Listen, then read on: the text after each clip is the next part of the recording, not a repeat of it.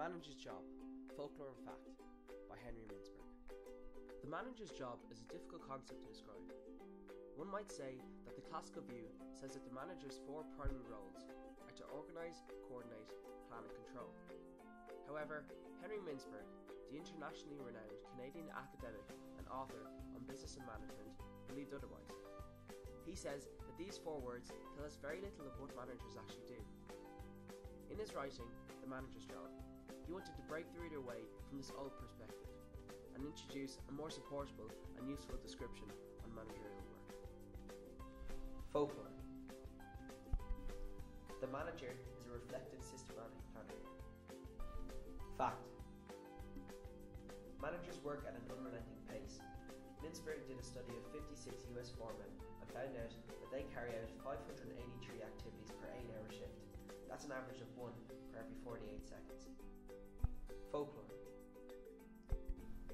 Effective manager has no regular duties to perform. Fact Managerial work involves performing a number of regular duties that links the organisation with its environment. The manager is seen as the person who sees visitors so that other people can get work done. Folklore The senior manager needs aggregation information which a formal management information system best provides. This was the classical view of the manager. Fact Managers cherish soft information such as verbal media, telephone calls, and meetings.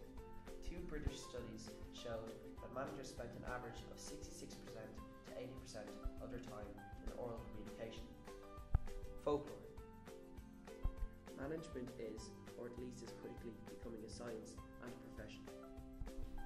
Fact The manager's programs to schedule time, process information, make decisions, and so on remain locked deep inside their brains. Roles are based on interpersonal relationships. These roles are the figurehead role, the leader role, and the liaison role. The figurehead role comprises of the ceremonial duties that must be performed by a manager, such as taking important customers to lunch and dealing with acknowledgements and requests.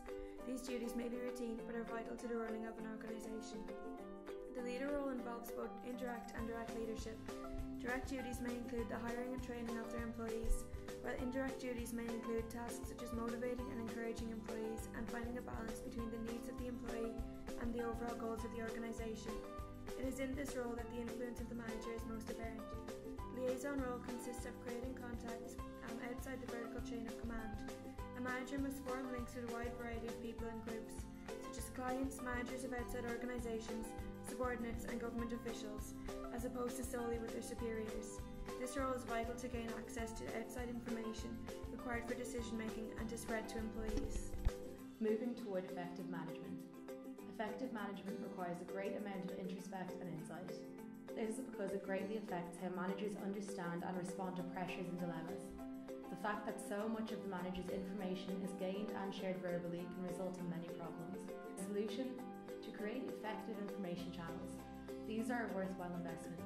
Time lost creating them is regained when vital decisions need to be made. They allow the manager to take into consideration the broader picture of the business. Managers and analysts must work together to overcome the planning dilemma. To control time, the manager must turn obligations into advantages and turn their own priorities into obligations. How then do we train a manager? Skill training is just as important as cognitive learning when. Skills are learned as a result of a combination of practice and feedback. Examples of skills include developing relationships, negotiating, motivating, etc. In conclusion, the manager is vital to the success of society, so all of these areas should be looked at. So, what can we draw from Mintzberg's approach?